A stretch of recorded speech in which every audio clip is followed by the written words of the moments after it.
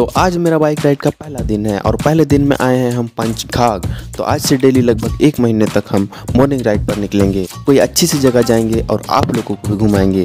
तो हमारे शहर के आसपास बहुत सारे ऐसी जगह हैं जो टूरिस्ट प्लेस के नाम से जानी जाती है। तो एक महीने में आपको पूरी जगह घुमाने की कोशिश करूँगा। तो आज आए हैं हम पंचघाग और खूंटी से लगभग ये 15 किलोमीटर की दूरी पर क्योंकि ये मोरू में स्थित है।